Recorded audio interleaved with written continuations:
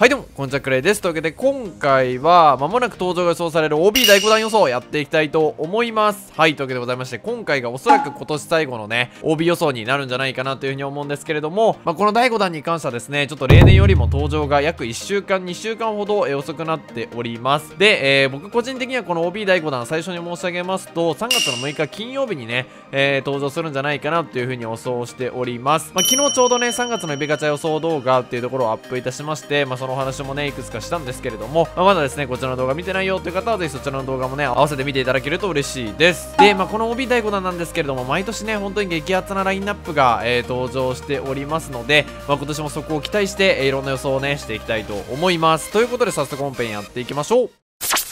はい、というわけでございまして、まずはいつも通りでございますが、タイムスリップと OB の違いですね。まあもう分かってるよという方は飛ばしていただいて構わないんですが、えまずはタイムスリップに関しては現役コーチ監督が全盛期の能力で登場いたします。逆に OB は、えー、解説者や評論家などの NPB 外のレジェンドの選手が登場いたします。で、まあここに関しては球団職員とか、あとは背番号のない元選手っていうところに関しては、えー、OB 扱いになります。まあ、フロントの人とかですね、えー、GM であったりとか、えフロントに入ってる方に関しても、一応ね、まあ、球団に所属はしている形になるんですけれども OB 扱いという形になります、まあ、結構ここで紛らわしくて未だに、えー、結構勘違いされてる方もコメント欄とかでもね、えー、まだいるのかなというふうに思いますので、えー、冒頭で触れておきます。はいということでございまして各球団のねここまでの OB の振り返りと予想ここからやっていきたいと思います。まずは西武でございます。はい西武はここまで新規の選手が2人既存の選手が2人というね、えー、バランスで登場しています。第4弾では秋山選手がね、えー、登場いたしました。ということでございましてここまで2019シリーズは石毛選手豊田選手稲尾選手秋山選手ということで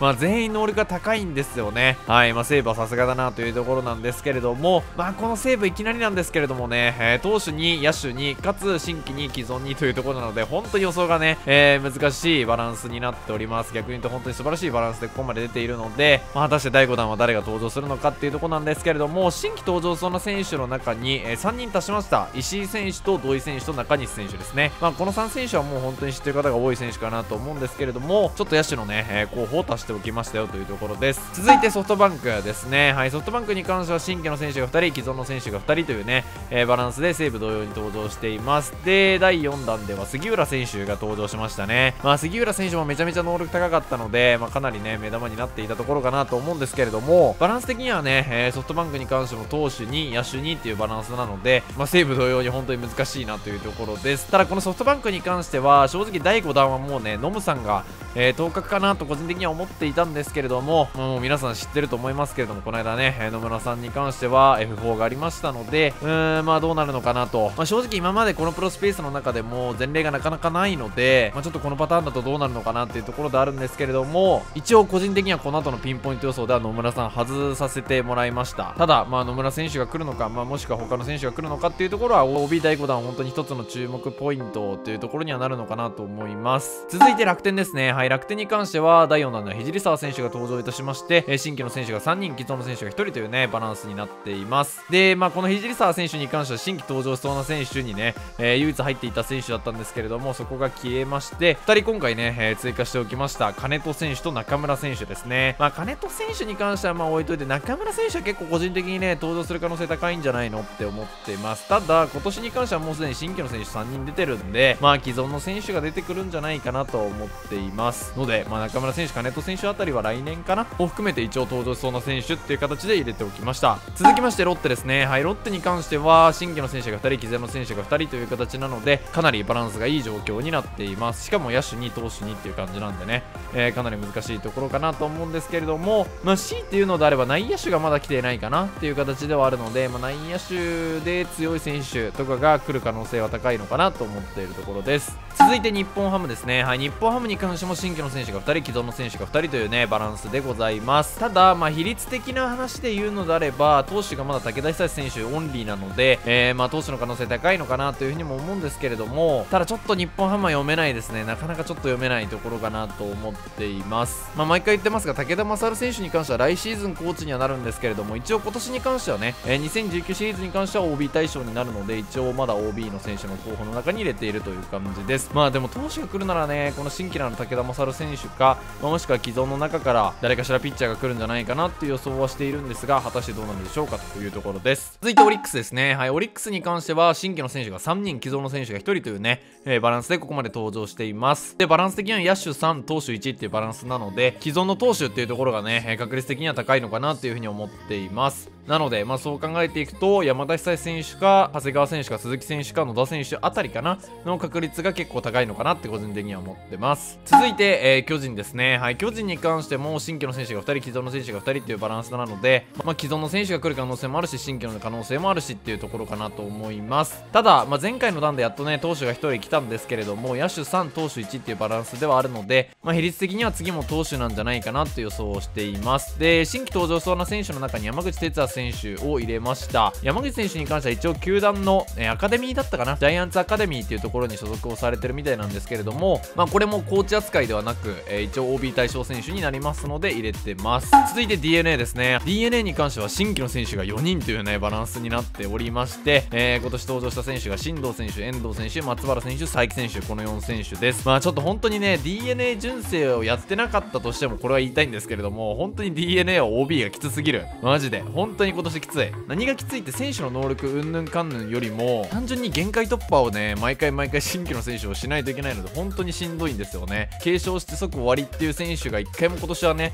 えー、来ていない状況なのでもうさすがに第5弾はさすがに第5弾は本当に継承で終わる選手既存の選手が来てくれないとちょっと DNA ファン特に純正を作ってる方はきついぞと思ってる方多いんじゃないかなと思います、まあ、というところでは新規登場したな選手今回特に付け加えてもいないんですけれども、まあ、おそらく投手かなと思ってる部分であるので佐々木さんか、まあ、野村さんかあとはま森田さん平松さんっていうところかなの、えー、4択じゃないのかなって個人的には思っています。続いて阪神ですね。はい阪神に関しては新規の選手が3人既存の選手が1人というね、えー、バランスでございます。ただ阪神に関しても野手が3人投手が1人というバランスではあるので比率的には投手の既存の選手が来る可能性が高いのかなと思っていますので江夏選手久保田選手小林選手井川選手この4選手の中から1人っていうのが個人的な予想ではあります。ただ阪神も本当にねいい OB 選手たくさんいるので、まあ、新規4で強い選手が出てくる可能性も全然大いにあるのかなというふうに思っています。続いて広島ですね。はい広島に関しても新規の選手が4人です。ただまあ広島に関してはね金本選手とあとは江藤選手あとは黒田選手に関しても割と現役のものとかも出てたりしてたのでっていうところでは、まあ、新規の選手ではあるんですけどもちょっとまた DNA とは違う感じになってるのかなと思います。とはいえまあ OB では出てなかったので新規4というバランスにはしているんですけれども、まあ、おそらくここも既存の選手がさすがに出てくるんじゃないかなと思います。過去に OB で登場している選手日笠選手から川口選手まで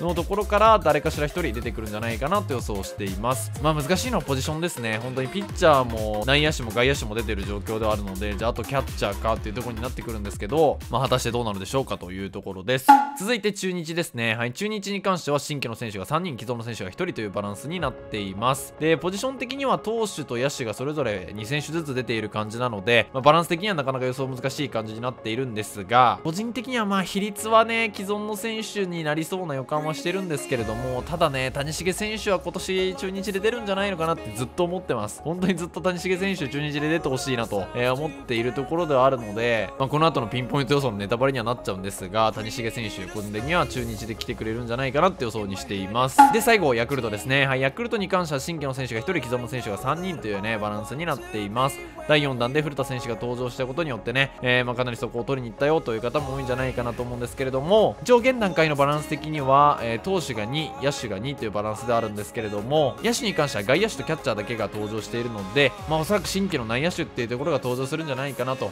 いうことで、えー、もうねこの流れを見ていただいたら分かると思うんですけれどもこの後のピンポイント予想では池山選手をね、えー、最後はさせてもらおうかなと思ってます。はい。というわけでございまして以上がですね各球団の振り返りと、えー、今回のね OB の予想という感じだったんですけれども最後に OB 第5弾のピンポイント予想をして終わりたいと思います。前回の第4弾もね一応これやったんですけれども的中が古田さんの1人だけだったのでまあ今回こそは3人当てたいですね。うん3人当てたい。はい。ということでやっていきたいと思います。今回の OB 第5弾ピンポイント予想はこんな感じでございます。はい。西武石井選手ソフトバンク斉藤和美選手楽天市場選手ロッテ榎本選手日本ハム島田選手オリックス山田久志選手巨人山口哲也選手 d n a 佐々木選手阪神江夏選手広島山本浩二選手中日谷繁選手ヤクルト池山選手この12選手で予想しました。まあもうこれはね結構かなり豪華めに予想しました。というのもすでにまあ3300っていうね、えー、OB よりも高いスピリッツの選手が侍ジャパンベストナイタイトホルダーで登場している中での、えー、OB 第5弾になるので毎年ね第5弾というところは非常に豪華なんですけれどもそれにプラスして純正の最強決定戦というところもあるので、まあ、そこでも必須になりそうな選手たちっていうところを、まあ、今回は入れさせてもらいました。あとは途中途中で言っていたところで言うと、まあ、ソフトバンクで野村選手に関しては外させてもらったりとかあとはちょっと今年はね各球団投手がどうしても OB 全体の流れで少ないので OB 第5弾のね予想に関しても投手6野手6っていうね比率になりました。本当は日本ハムもね投手の予想にしたかったんですけどそうするとさすがに投手7野手5っていうね、えー、まあ普段なかなかないバランスになっちゃうので、まあ、それはちょっと現実見ないかなっていうことで、えー、まあこんな感じで投手6野手6っていう比率で予想しています。ただまあ実際はね多分投手4野手8かまあ投手5野手7になるパターンが多いので、まあ、全員が全員12分の12当たるっていうのはなかなかないと思うんですけど、まあ、各球団のバランスっていうところを個人的には今回重視して、えー、この12選手で予想しました、まあ、おそらくこれが OB の今年の予想は最後になると思うんですけれども、まあ、正直どれぐらい当たるかわかんないです。はい、まあ、正直どれぐらい当たるかわかんないですけれども、まあ、ぜひ皆さんの予想もね、えー、個人的には見るの楽しいのでぜひコメント欄にね、えー、書いていっていただければと思います。はいというわけでございまして今回はですねまもなく登場が予想される OB 第5弾こちらについての予想を撮っていたんですけれどもいかがだったでしょうか？まあ毎回のことではございますが本当に予想は難しいマジで難しいなっていうところで、まあ、この OB 第5弾予想をね、えー、考える上でも本当に2時間3時間ぐらいね、えー、時間かかったんですけれども、まあ、侍ジャパンベストナイトイトフルダに比べてねスピリッツ100低いとはいえ、まあ、最後の OB というところで、まあ、かなり盛り上がることはね予想できるかなと思うのでこのね OB 第5弾の登場に関しては楽しみに待ちたいなと思います。ということで今回もご視聴いただきありがとうございました。ぜひともこの動画が良ければ高評価チャンネル登録そして Twitter のフォローよろしくお願いいたします、まあ、さっきも言いましたけれどもぜひ皆さんの欲しい選手予想する選手コメント欄にて書いていってください。ということでまた次回の動画でお会いしましょう。ありがとうございました。